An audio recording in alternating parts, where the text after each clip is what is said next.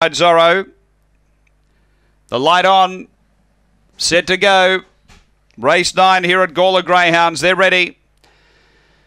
Racing. And Traviston hopped out well in the middle. It's looking for the lead. Tigers Empire goes with it. They race down the back and then came Keno Bale. Uh, behind those next is Dolce Ventu. A breakaway next is Learned Love. Then came Woodside Zorro and Luna Luna. Up front getting through. Tigers Empire took the lead. Running on Dolce Ventu. Tigers Empire from Dolce Ventu. Late Keno Bale, but Tigers Empire beats Keno Bale, Dolce Ventu and Traviston.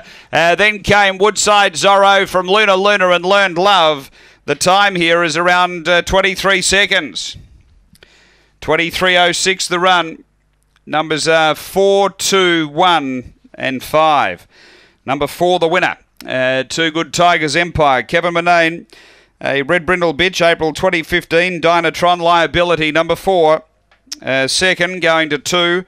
Keno Bale, Lisa Rasmussen, a Black Dog, January 2015. Base Camp, Coco Bale, and third to 1.